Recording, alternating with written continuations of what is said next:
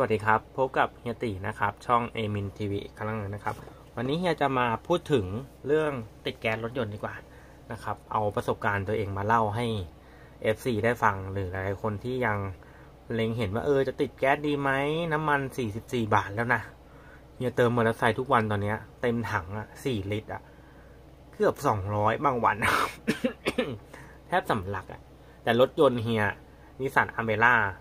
2012 เวอร์ชัน2012 เครื่อง HR12 นะครับ เป็นอ่าสามสูบนะครับ ติดแก๊สมาทั้งหมด30,000ไม่ใช่พูดผิด360,000ถึงอ่าตอนนี้มันน่าจะขึ้นเลขเจ็ดแล้วล่ะ370,000กิโลนะครับ ติดมาตั้งแต่ป้ายแดงเลยออกมาไม่ถึง500กิโลเมตรแรกติดเลยครับ ตอนนั้นที่ติดนะตอนนั้นน่ะนะมันจะอยู่ประมาณ3 30กว่าบาทตอนนั้นน่ะ แก๊สจะอยู่ประมาณหลัก หลักหน่วยด้วยซ้ำหลักสิบนิดนิดเองนะครับเฮียจะมาทำคำนวณให้ดูแค่สี่หมื่นกิโลแรกนะครับ ปัจจุบันนี้นะครับ น้ำมันอยู่ที่สี่สิบสี่บาทเนาะ e ยี่สิบนะครับ โดยประมาณนี้เราจะไม่พูดถึง e แปดห้า e แปดห้าก็สามเจ็ดแล้วไม่ไหวหรอกนะครับ แก๊สอยู่ที่ประมาณอาจตีซะเฉลี่ยเฉลี่ยคือสิบสี่บาทแล้วกัน เพราะตอนนี้บางปั๊มจะอยู่ที่ประมาณสิบสองบาทกว่าๆ สิบสองบาทเจ็ดเก้าสิบสามบาท ต่างจังหวัดอาจจะอยู่ที่ประมาณสิบห้าบาทเลยนะครับ บางพื้นที่ ร้านไหนแถมแกะแถมน้ำน้ำเยอะๆเนี่ย ราคามจะขึ้นไปสูงนิดนึงนะครับ เฉลี่ยเฮียให้เฉลี่ยว่าน้ำมันเนี่ย อ่า ไม่ใช่ ระยะการกินน้ำมันเนี่ย ให้สิบกิโลลิตรนะครับสิบกิโลลิตรเนี่ยน่าจะเป็นส่วนมากจะเป็นกรุงเทพรถติดไม่ใช่เป็นกรุงเทพในส่วนอยู่ในส่วนที่รถติดนะครับ ในเมืองรถติดทั้งหลาย ประมาณไม่เลยสิบใครบอกว่าจะเถียงว่าไม่ถึงหรอกไม่ถึงสิบบอกกูวิ่งแก๊ปมากูรู้ว่ามันสิบยังไงก็สิบนะครับมึงเดี๋ยวเบรกเดี๋ยวเบรกเดี๋ยวเบรกเฉลี่ยแล้วกันตัวเลขง่ายๆ สวยๆ แต่ถ้าวิ่งต่างจังหวัดด้วยความเร็วคงที่แปดสิบเก้าสิบร้อยร้อยยี่สิบได้เลยสิบห้ากิโลลิตรสิบหกสิบเจ็ดกิโลลิตรได้เลย บอกเลยว่าไปกลับกรุงเทพ ก๊สหนึ่งถังยังเอ้ยไม่ใช่ไปกลับกรุงเทพบ้า ไปกลับหัวหินห้าร้อยกิโล ไปกลับหัวหินนะห้าร้อยกิโลเพิ่งไปเพิ่งอาทิตย์ผ่านมาเดี๋ยวเพิ่งไปมา แก๊สหนึ่งถังยังเหลือกลับมาเติมห้าร้อยห้าร้อยกว่านะครับ ตกกิโลละบาทเองนะครับ วิ่งแก๊ส LPG เรามาดูความคุ้มค่าของมันก่อนดีกว่า เดี๋ยวไอ้เรื่อง ค่ามันทันอะไรเนี่ยเราเล่าให้ฟังนะครับ มันไม่ได้เยอะอะไรมากมายหรอกไม่ได้อันตราย ดูแลดี เข้าอู่ที่ไว้ใจได้นะครับ มีชัยไปกว่าครึ่ง อู่ที่แนะนำที่เฮียแนะนำก็คือ อู่ช่างเอก เอก Junior Engineer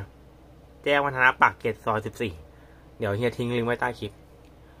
คิวตอนเนี้ยยาวไปถึงเดือนหน้าแล้วกรกฎาสิ้นเดือนแล้วนะครับ คิวติดแก๊ส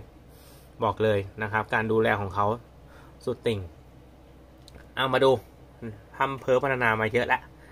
บรรทัดแรกนะครับบรรทัดแรกคือหนึ่งหมื่นกิโลนะครับหนึ่งหมื่นกิโลแรกเนี่ยคุณติดไปสมมติว่าคุณติดแก๊สอะ เอาสักเฉลี่ยเลยกันสามหมื่นสามหมื่นบาทนะครับ ติดแก๊สสามหมื่นเฉลี่ยนะอ้ไม่ราคาสูงจังเฮ้ยเดี๋ยวชุดแก๊สเนี่ย มันมีทั้งแบบธรรมดาแบบก๊อปก๊อปก๊อปก๊อปเยอะแยะไปหมด เอาเฉลี่ยที่ดูแล้วเป็นมาตรฐานแล้วมันดีแล้วใช้ได้นานยาวแบบยันลูกบวชเลยอะเอ้ยไม่ใช่ พูดผิด ใช้ได้ยาวนานเป็นสิบปีแล้วกันเนาะเออเอาแบบเนี่ยราคาเนี้ยแน่นอนนะครับ โดยเฉลี่ยอาจจะเป็นพวกกล่องที่อ่าจูนออโต้หม้อต้มที่ดีอ่าหม้อต้มที่มีราคาสูง หัวฉีดเคยินนะหัวฉีดที่แพงขึ้นไปอีกอะไรเงี้ย มันก็จะ เฉลี่ยอะตีสักสามหมื่นแล้วกัน ลงทุนสามหมื่นกูจะคืนอ่าคืนคืนทุนเมื่อไหร่ แล้วเวลาคุณวิ่งไปเนี่ย คุณไม่ต้องมานั่งแบบ เฮ้ย จะไปดีไหมวะ จ่ายน้ำมันเท่าไหร่ เติมน้ำมันเท่าไหร่คุ้มไหมวะ เออ ไปจะไปเที่ยวทีอย่างเงี้ย จะไปเที่ยวแบบอะแค่พัทยาอย่างเงี้ย ถ้าคุณเติมน้ำมันอะ ไปกับสามร้อยโลอะ เติมน้ำมันก็พันกว่าบาทนะ อืมนะครับมาดูกันหนึ่งหมื่นกิโลนะครับ น้ำมันเฉลี่ยสิบกิโลลิตร แบบสิบกิโลลิตร จะได้อยู่ที่สี่บาทสี่สิบสี่จุดสี่บาทต่อหนึ่งกิโลถูกไหมฮะก็มาคูณหลักหมื่นนะครับหมื่นกิโลแรกก็เติมน้ำมันไปที่สี่หมื่นสี่เยอะไหม เยอะชิบหายนะครับ เสร็จแล้วเนี่ยสมมติคุณติด LPG ไปนะครับ คุณเติม LPG ที่เฮียคิดให้แม่งสูงไว้ก่อนเลยแล้วกัน 14 บาทเอาให้สูงเลยนะครับ เผื่ออนาคตมันจะสูงขึ้นไปกว่านี้นะครับ LPG เนี่ยมันจะอิงกับแก๊สบ้านนะครับ มันจะขึ้นขึ้นลงลงกับแก๊สบ้าน 1.4 นะครับ ก็จะเป็นจาก 4.4 นะ ถ้าคุณเติมน้ำมันปกติแต่ถ้าคุณเติม LPG ล่ะ อยู่ที่ 1.4 นะครับ คุณเติมแค่หมื่นสี่นะหนึ่งหมื่นกิโลหมื่นสี่ค่าเป็นเท่านั้นหมื่นกิโลแรกที่ติดแก๊สมีอะไรถ่ายน้ำมันเครื่องถ่ายมันถ่ายน้ำมันเครื่องอย่างเดียวไม่ต้องไปทำอะไร ไม่ต้องไปเติมออโต้ลูออโต้ลูปนะเว้ยไม่ต้องไม่ต้อง มันหมดยุคแล้ว มันหมดยุคแล้วทำตามที่บอกทำตามที่เล่าให้ฟัง ถ้าคุณไปหาช่างเอกทำตามที่เขาบอก ไม่ต้องไปเลยเถิดทำอะไรนอกจากที่เขาไม่ได้แนะนำไม่ต้องทำนะครับหนึ่งหมื่นกิโลแรกนะครับ เห็นไหมสี่หมื่นบาทสี่หมื่นสี่ถูกปะคิดถูกคิดผิดเอาสี่จุดสี่ไปคูณหนึ่งหมื่นจะได้สี่สี่หมื่นสี่ถูกไหมนะครับ แล้วก็เอาหนึ่งจุดสี่ไปคูณหมื่น ก็จะได้หมื่นสี่ถูกไหมสมมุติว่าอะหมื่นกิโลแรกมีแค่น้ำมันเครื่อง น้ำมันเครื่อง อะไรก็ได้ คุณเอาสังเคราะห์กึ่งสังเคราะห์บางจาก NGV อ่าแม็กซิตอนอะไรก็แล้วแต่อะไรก็ได้ ขอให้มันเปลี่ยนหนึ่งหมื่นกิโลคุณเปลี่ยนน้ำมันเครื่องแค่นั้นเอง คุณจะเอาเกรดที่ของช่างเอกอะที่เขามีให้อะ ที่เป็นเกรดอ่าระดับพรีเมียมที่เขานำเข้ามา ก็ได้ เอาอะไรก็ได้ เพราะของเฮีย ก็มาจาก NGV ทุกๆหมื่นกิโลบางทีก็ไป B Quick ด้วยซ้ำหกร้อยเก้าสิบแปดร้อยเก้าสิบแค่นั้นเอง เปลี่ยนเปลี่ยนทุกๆ ตามระยะของมัน เห็นไหมส่วนต่างเท่าไหร่สามหมื่นถูกไหมสี่หมื่นสี่ลบหมื่นสี่ถูกปะวะ ก็จะเหลือสามหมื่นถูกไหมอะ ถามว่าคุ้มทุนอย่างหมื่นโลแรกคุ้มแล้ว คุณคุ้มตั้งแต่หมื่นกิโลแรกแล้วนะครับ ปีหนึ่งวิ่งหมื่นโลแม่งก็คุ้มแล้วจริง ๆบอกตรงจริง บอกเลยว่าตั้งแต่มีโควิดเนี่ย ไม่เคยเอารถไปหาช่างเอกเลยนะ แล้วไม่ได้ขับแก๊ปคามาตั้งแต่โควิดปุ๊บอะก็หยุดไม่ได้ไปหาช่างเอกเลย เพราะว่ารถแม่ไม่มีปัญหาเลย แล้วทุกอย่างมันก็ยังปกติอยู่ดี แล้วก็เลยหลังจากที่โควิดซาสองปีครึ่งแล้วก็ค่อยเอาไปตามระยะกับช่างเอกต่อ เพราะว่าไปถึงตั้งวาล์วให้เขาเช็ควาล์ว เอ้าวาววาวปกติซะงั้นน่ะโอ้โหจูนอย่างนี้สุดยอดปะล่ะกูอวย กูอวยก็เต็มที่นะอวยก็เต็มที่นะมาต่อมาต่อที่สองหมื่นกิโลสองหมื่นกิโล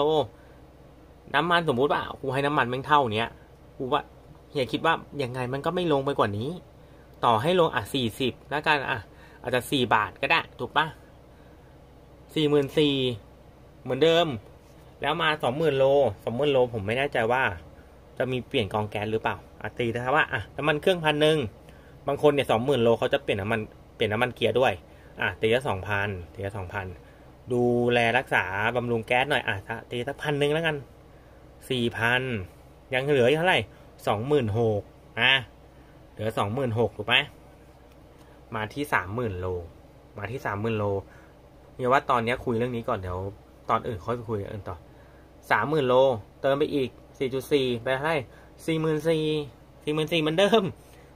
เฮียให้ขึ้นค่าแก๊สด้วย เพราะว่าค่าแก๊สบางทีมันต้องขึ้น เพราะว่าเหมือนแบบเขาตึงมาให้หลายเดือนแล้วนะครับพอมันขึ้นมาที่บาทห้าสิบละกัน ก็หมื่นห้าหักลบแล้วสองหมื่นเก้าสามหมื่นมีอะไรสามหมื่นมีอะไร แก๊สไปดูแลเรียบร้อยแล้วน้ำมันเกียร์เปลี่ยนแล้วน้ำมันเครื่องอย่างเดียวน้ำมันเครื่องอย่างเดียวก็มืออาทิตย์ละพันหนึ่งละกันถ้าแบบ ตอนนี้อ่าบางจ่าย GV คือเก้าร้อยเก้าสิบเก้าบาทไอ้เก้าร้อยเก้าสิบรวมกองตามปั๊มอะไรทั่วไปอย่างเงี้ย ถ้าเป็นสั่งเคาะหน่อยคุณอาจจะเติมสักพันห้าเปลี่ยนพันห้าอะไรก็ว่านไป เอามาที่สี่หมื่นเลยนะสี่หมื่นเนี่ยจะหนักหน่อยจะเปลี่ยนเยอะหน่อยนะครับสี่หมื่นเหมือนเดิมสี่หมื่นสี่ยังเหมือนเดิมนะครับ ยังอยู่ที่สองหมื่นเก้านะครับ จุดอ่าตัวของความต่างระหว่างน้ำมันกับ LPG เสร็จแล้วเนี่ยคุณมาดูนี่ น้ำมันเครื่องพันหนึ่งน้ำมันเกียร์ครับคุณเอาฝัดชิ่งนะผมว่าคุณไปทำที่ช่างเอกน้ำแม่ช่างเอกก็มีฝัดชิ่งเหมือนกันตีแค่สี่พันตีแค่สี่พันทวนๆก่อน อย่าอย่าตีเยอะตีแค่สี่พันตีบางทีเขาอาจจะสี่พันห้าอะไรเงี้ยอะอย่าคิดว่าตีได้กลมๆสวยๆสี่พันแปดร้อยนี่แหละวะอ๋อน้ำมันน้ำมันเบรกน้ำมันเบรกบางทีเนี่ยสี่หมื่นโลเนี่ยก็ต้องเปลี่ยนทั้งระบบตีสักแปดร้อยพันหนึ่งอะเฮียเคยไปเปลี่ยนที่ปั๊มบางจากก็คือแปดร้อย ที่สำคัญที่สำคัญ น้ำมันน้ำยาหม้อน้ำน้ำยาหล่อเย็นเนี่ย ศูนย์บอกว่าแสนโลแสนโลเฮียเอาหัวเป็นประกันฮะสี่หมื่นโลมึงควรเปลี่ยนแล้ว เมืองไทยโคตรร้อนสี่หมื่นโลมึงควรเปลี่ยนแล้ว น่าจะประมาณห้าร้อยถ้าจำไม่ผิดการเปลี่ยนทั้งระบบนะครับ แล้วเฮียอะสามสามแสนบาทกิโลเนี่ยเปลี่ยนมาทุกๆสี่หมื่นนะครับ ไม่ค่อยมีปัญหา เพราะว่าหนึ่งยำนาหย่อเย็นเนี่ย มันไม่มันไม่มีผลกระทบกับหม้อน้ำนะครับค่าทุนเติมน้ำเปล่าเนี่ยมันน้ำผุหมดพันห้านี่แหละวะพันห้าตั้งวาล์วตั้งวาล์วเออมันจะมีอาจจะมีเปลี่ยนกองกองไอ้นี่อีกอะไรนะกองหม้อต้มอะไรพวกเนี้ยกองหม้อต้มกองแก๊สเลยอาทิตย์ละพันหนึ่งแล้วกันอะนี่บวกมาอีกพันหนึ่งก็เป็นหมื่นสี่รอบนี้อาจจะหนักหน่อย อย่าลืมนะ ไอ้พวกอะไรยางอะไรพวกเนี้ยมันก็เป็นตามระยะของมันอยู่แล้วถูกไหมคุณต้องเปลี่ยนอยู่แล้วยางไม่ต้องพูดถึง พันห้าตั้งวาวอย่างรถเฮียเนี่ยสี่หมื่นโลต้องเช็คแหละ ถ้าไม่ตั้งช่างเอกอาจจะคิดประมาณพันหนึ่งค่าเปิดนู่นค่าเสียบนู่นเสียบนี่อะไรก็ว่ากันไปถูกปะเพราะว่าการจูนอะไรเนี่ยติดกับช่างเอกแกตลอดอายุการใช้งานอยู่แล้วนะครับ รอบนี้อาจจะ รอบนี้อาจจะเยอะหน่อยนะครับ แต่เฮียนะรวมจากตรงเนี้ยมาถึงตรงนี้นะ ยังไม่ถึงสองหมื่นเลยค่าบำรุงรักษากับผลต่างตรงนี้เมื่อครบสี่หมื่นแสนหนึ่งแล้ว ผลต่างระหว่างน้ำมันกับแก๊สแสนหนึ่งแล้วอะ คุณเอาเงินแสนไปทำอะไรได้อีกอะ แล้วสี่หมื่นไม่ใช่ว่าเครื่องจะพังนะ แล้วอยากจะบอกว่า อ่า บางคนเขาบอกว่าช่างบางคนบอกว่าปล่อยครบไปแสนเลยไม่ต้องตั้งวาวแล้วเปลี่ยนเปลี่ยนอะไรนะเปลี่ยนเปลี่ยนเปลี่ยนอะไรวะไอ้เรียกว่าอะไรไอ้เปลี่ยนเปลี่ยนวาวยกวาวทิ้งไปเลย แล้วก็เปลี่ยนใหม่หมื่นกว่าบาทกูถามว่าเนี่ยสี่หมื่นลมตั้งพันห้าเอง แล้วทำไมต้องไปปล่อยให้มันยันน่ะแล้วมาเปลี่ยนทีเดียวอะ เพื่ออะไรเปลี่ยนทีหลายวันนะไอ้ตั้งวาวเนี่ยสามสองสามชั่วโมงก็เสร็จแล้ว เออนะครับ ดูตัวเลขนี่หนึ่งแสนเหลือเหลือเอาเน้นๆเลยกันง่ายๆพูดกันเหลือเป็นแสนเหลือเงินเป็นแสนบำรุงรักษาไม่มีอะไรเลย นอกนั้นก็เป็นพวกแอร์ล้างแอร์เปลี่ยนอะไรนะ เปลี่ยนยางมันเปลี่ยนโชค อะไรพวกนี้มันคือจิปาถะทั่วไป ผ้าบงผ้าเบด อันนี้มันคือทั่วไป คุณคิดดูประหยัดได้เท่าไหร่หนึ่งแสนตารางนี้อาจจะทำให้เห็นอะไรภาพภาพรวมอะไรได้อีกเยอะเลยนะ ถามว่า คุณสมมติว่าคุณวิ่งครบแปดหมื่นเลยวะคุณประหยัดเงินได้สองแสนนะเว้ยเออ คุณประหยัดเงินได้สองแสนเฮียเฮียไปกับหัวหินนะห้าร้อยโลอะเติมแก๊สไปห้าร้อยกว่าบาท ถ้าเป็นน้ำมันปกติก็อาจจะประมาณสักเท่าไหร่ สองพันถึงสองพันกว่าเลยนะ เออสองพันกว่าเลยอาทิตย์สองพันยังเหลือตังประมาณพันห้าเลยครับเติมแก๊สอะถูกปะแล้วมันก็ไม่ระหว่างปีเนี่ยเออระหว่างปีมันมันจะมีตรวจค่าตรวจแก๊สค่าตรวจแก๊สจะอยู่ที่ประมาณห้าหมื่นห้าไม่ใช่ห้าหมื่นห้าห้าร้อยประมาณห้าร้อยมั้งเพิ่มขึ้นมาแค่นี้เอง ถ้าจะลงเล่มด้วยก็อาจจะประมาณสักพันห้ามั้งไม่เข้าใจใบวิศวะอะไรประมาณนี้มั้งที่ลงเล่มมาครั้งแรกนี่ครั้งเดียวเอง ที่ลงเล่มอะจะเพราะว่าถ้าคุณจะต่อประกันเฮียก็แนะนำให้ลงเล่มนะครับเพราะว่าการลงเล่มเนี่ยหมายถึงการบอกว่า เรามีอุปกรณ์เสริม เวลาเราซื้อประกันเนี่ยประกันน่าจะได้คิดไปด้วย ก็คือมันอาจจะคิดเพิ่มไม่กี่บาทติด LPG คิดเพิ่มไม่กี่บาทนะครับ มันก็ไม่เท่าไหร่เอง ลงทุนครั้งเดียวปีหนึ่ง และแถมรู้สึกว่าติด LPG เนี่ย ส่วนลดภาษีเนี่ย ในแต่ละปีมันลดลงเรื่อยๆด้วยนะ เออ มันลดลงด้วยนะไม่รู้ไม่รู้ว่าไม่รู้ว่าเป็นเพราะรถเฮียเป็นอีโคคาร์หรือว่ามันติดแก๊สก็ไม่รู้อะ เออ นะครับ เนี่ย เอาวันนี้มาให้ดูแล้วก็แนะนำอีกอย่างคือ อู่ที่แนะนำอู่เดียวเลย ถ้าอยู่กรุงเทพติดต่อช่างเอก เอก Engineer Junior นะครับ แจ้งวัฒนะปากเกร็ดสิบสี่เดี๋ยวทิ้งลิงก์ไว้ให้นะครับ เดี๋ยวขึ้น tab bar ไว้ให้เลยนะครับ ไม่มีสปอนเซอร์นะครับ เราแนะนำสิ่งดีๆให้กันและกันนะครับ อะไรดีเราแนะนำนะครับ อะไรไม่ดีเราไม่พูดนี่นั่นเองนะครับ ถ้าถ้าเป็นนิสันก็ในกลุ่มนิสันเยอะมาก แต่ที่ตอนนี้ช่วงนี้เฮียไปเป็นประจำก็คือโกศลที่ปทุมนะครับ เพราะว่าหนึ่งรวดเร็วทันใจไวนะครับ ก็เลยไปแกอู่แกใหญ่นะครับทำอะไรรวดเร็วนะครับ โอเค วันนี้มาพูดแค่นี้นะครับ เรื่องติดแก๊สนะครับ อย่าลืมกดติดตามนะครับ กด subscribe ช่องเอมินทีวีให้เฮียตีด้วย เดี๋ยวมาเล่าเรื่องอื่นให้ฟังอีก เดี๋ยวขอหาหาหัวข้อก่อน อันนี้หัวข้อที่เปรียบเทียบก่อนแล้วกัน เพราะว่าบางทีคุณอาจจะใช้รถไม่ได้เยอะมาก แต่ว่าติดไปเถอะนะครับเซตเริ่มต้นตัวนี้น่าจะอยู่มาสองหมื่นห้าถึงสองหมื่นแปดประมาณเนี้ย เอาเอาแบบที่ที่ช่างเอกแกแกมีนะ แล้วแกคิดอ่าแกคำนวณแล้วว่ามันดีนะครับ อย่าไปแบบเห็นเนี่ยของทู อ่ามือสองไม่ไม่แนะนำเลยเฮียไม่แนะนำเลย อะไรที่เป็นมือสองเกี่ยวกับอุปกรณ์แก๊สเฮียไม่แนะนำเลย เพราะถ้ามันผิดพลาดไปแล้วเนี่ย มันหมายถึงรถเราที่จะอันนี้เลยนะ เพราะอย่างน้อยถ้าคุณไปติดพวก AC หรือติดตามที่ที่เป็นมือหนึ่งเนี่ย มันจะมีประกันให้ เพราะมันเฮียว่ามือสองอะอย่างมากอะตีสักหมื่นนิดนิดอะ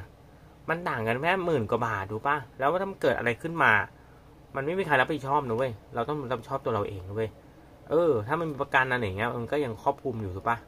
แล้วบางทีอะชุดแก๊สบางทีอะสายไฟอะมันถูกตัดมาเฉพาะยี่ห้อรถยี่ห้อนั้นๆ จะมาต่อเพิ่มอะไรเพิ่มเฮียว่าสัญญาณมันอาจจะไม่นิ่งพอนะครับ โอเคเดี๋ยวหลังมาคุยเรื่อง LPG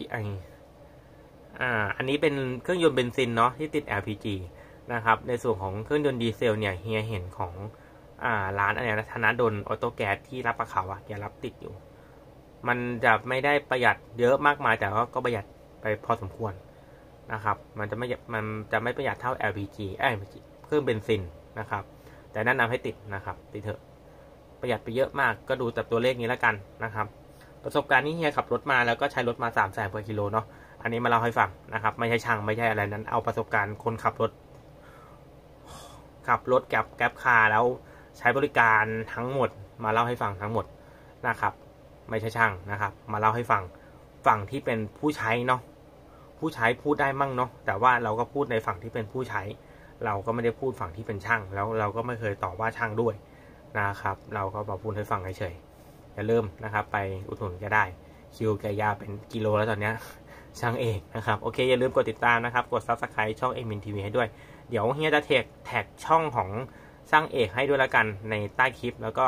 ไปกดติดตามเขาไปดูเขาเพราะช่วงนี้เขามีการอัปเดตเป็นวิดีโอให้ดูนะครับโอเคอย่าลืมกดติดตามกด subscribe ช่อง m อ็มทีวีด้วย แล้วก็ไปติดตามช่องช่างเอกให้ด้วยนะครับ สวัสดีครับ